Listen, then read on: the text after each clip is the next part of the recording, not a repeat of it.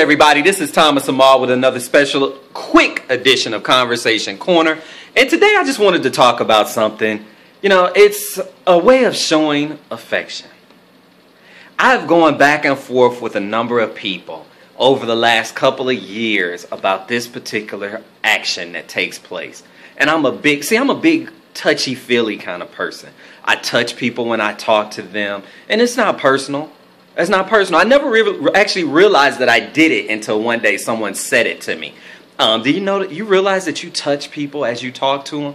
And I didn't. And so now I'm, I'm a little bit more cognizant about it, and I try not to make people uncomfortable. But this, what I wanted to bring about was hugs. I'm a big fan of hugging. And I know it's funny. I know people are saying, really? But this is just who I am. I'm a really big fan of people hugging each other. And I just think that sometimes there's certain ways that when you give hugs, you can give affection.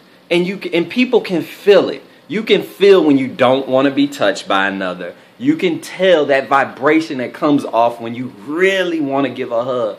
Some people are just very good at it.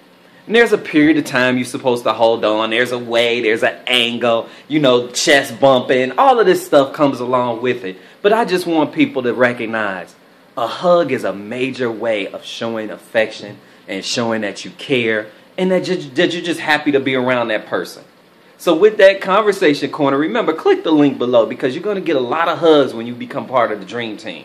That's all we do when we see each other. We're so happy um, with each other's progress and the fact that we are all together as one.